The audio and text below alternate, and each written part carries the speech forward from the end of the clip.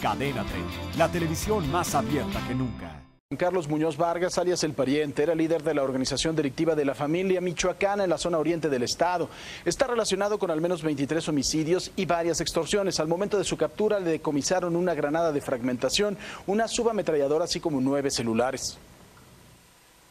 Los trabajos de inteligencia de la Procuraduría General de Justicia del Estado de México permitieron la detención de Juan Carlos Muñoz Vargas, alias El Pariente, quien se desempeñaba como uno de los principales jefes de plaza de la organización criminal La Familia Michoacana en el Estado de México.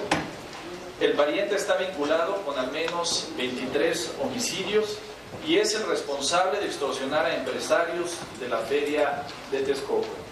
Cadena 30, la televisión más abierta que nunca.